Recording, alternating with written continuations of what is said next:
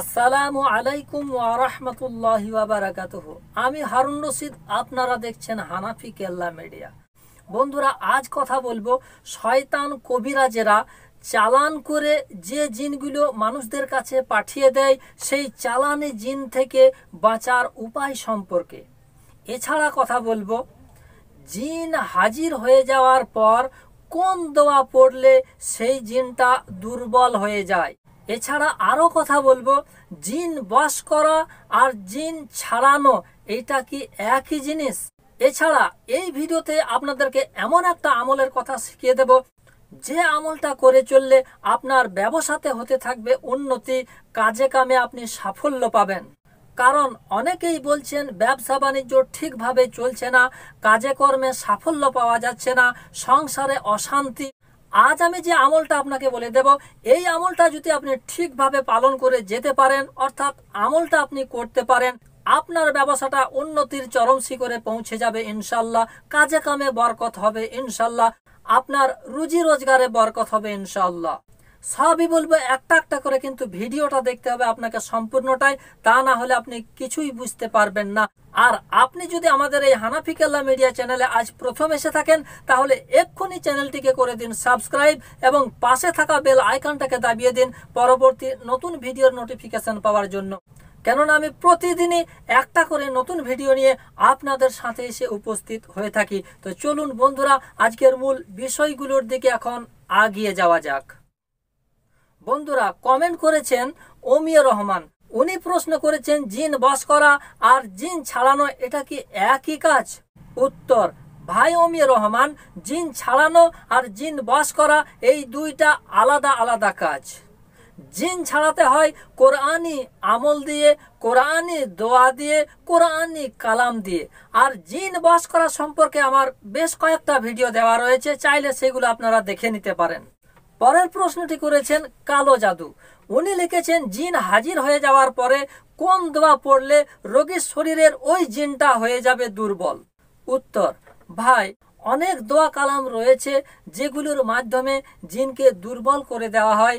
জিনের শক্তি আর খাটে না। তার মধ্য থেকে আপনাদেরকে একটা আমি দোয়া কালাম বলে দিচ্ছি। দোয়াটা হচ্ছে এই, সালামুন আলা আলামিন। ডিসপ্লেতে আপনাদেরকে দোয়াটা আমি দিয়েও দিচ্ছি, আপনারা ভালোভাবে সেটা দেখে নিন। এই দোয়াটি পড়ে যদি আপনি জিনগ্রস্ত রোগীর ওপরে ফু দেন, তাহলে জিনের শক্তি কিন্তু আর চলবে না। পরের প্রশ্নটি করেছেন মোহাম্মদ নজরুল। উনি লিখেছেন, কবিরাজেরা যে জিন চালান করে পাঠিয়ে দেয়, সেটা কীভাবে নষ্ট করা যায় এবং সেই জিনের অনিষ্টতা থেকে কীভাবে বাঁচা যায়? উত্তর, ভাই নজরুল ইসলাম, একটা চালানকৃত জিন এসে সরাসরি সেই ব্যক্তিটাকে আক্রমণ করতে পারে না। কেন পারে না, সেটা এখন আপনাকে আমি ভেঙে বলে দিচ্ছি। ব্যাপারটা খুব মন দিয়ে বোঝার চেষ্টা করবেন। একটা চালানি জিন এসে ওই ব্যক্তিটাকে সর্বপ্রথম ভয় দেখাতে থাকে। কখনো কখনো তাকে ছুঁয়ে দিয়ে চলে যাবে।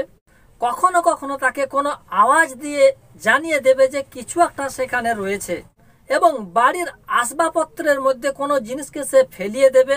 এইভাবে ওই চালানে জিনটা এসে ওই ব্যক্তিটাকে সর্বপ্রথমেই ভয় দেখাতে থাকে।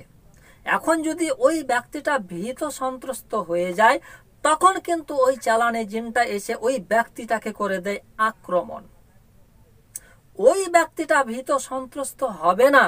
যে ব্যক্তিটার রুহানি শক্তিটা মজবুত এবং পাওয়ারফুল এখন আপনার প্রশ্ন হতে পারে, রুহানি শক্তিকে পাওয়ারফুল করা যায় কীভাবে, মজবুত করা যায় কীভাবে? বন্ধুরা, ওই ব্যক্তিটার রুহানি শক্তি পাওয়ারফুল থাকে, যে ব্যক্তিটা নিয়মিত পাঁচ নামাজ পড়ে কোরআন তেলাওয়াত করে, রোজার সময় রোজা করে, মাসনুন দোয়ার এহতেমাম করে। মোট কথা, আল্লাহ এবং তার রসুল সাল্লা সাল্লামের দেখানো পথে চলতে থাকে, ওই ব্যক্তিটার রোহানি শক্তিটা থাকে পাওয়ারফুল শক্তিশালী। এই রোহানি শক্তি পাওয়ারফুল ব্যক্তিদের নিকটে এসে ওই সব চালানি জিনগুলো আক্রমণ করতে পারবে না, ফিরে চলে যাবে। আর যে ব্যক্তিটার রোহানি শক্তিটা দুর্বল তাকে কিন্তু এসে আক্রমণ করে দেবে। মোট কথা হচ্ছে, চালানি জিনের অনিষ্টতা থেকে বাঁচার জন্য আপনাকে পাঁচ ওয়াক্ত নামাজ পড়তে হবে, কোরআন তেলাওয়াত করতে হবে, মসনুন দেওয়ার এহতেমাম করতে হবে, আর আপনাকে জিকির করতে হবে। এইগুলো যদি আপনি করে চলেন, তাহলে কোনো জাদু টোনা, কোনো চালানি জিন আপনাকে আক্রমণ করতে পারবে না, ক্ষতিও করতে পারবে না। এবার আপনাদেরকে সেই আমলের কথাটা আমি বলে দিচ্ছি যে আমলটি করলে আপনার ব্যবসাতে উন্নতি হতে শুরু করবে, আপনার কাজে কামে বরকত আসতে শুরু করবে, আপনার রুজিতে বরকত আসতে শুরু করবে। দোয়াটা হচ্ছে এই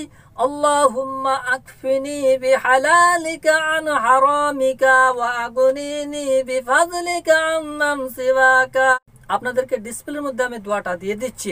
এই দোয়াটা জমার নামাজের পর ওই জায়গাতেই বসে আপনাকে সত্তর বার পাঠ করতে হবে এবং প্রত্যেক ফরজ নামাজের পর এই দোয়াটা আপনাকে পাঠ করতে হবে। যদি আপনি নিয়মিতভাবে প্রত্যেক ফরজ নামাজের পরে এই দোয়াটা পাঠ করতে থাকেন আর জুমার দিনে ওই জায়গাতেই বসে বসে সত্তর বার করে পাঠ করতে থাকেন তাহলে আপনার ব্যবসাতে উন্নতি হতে শুরু করবে, আপনার রুজিতে বরকত আসতে শুরু করবে ইনশাআল্লাহ। তো বন্ধুরা, এই ছিল আজকের তথ্য।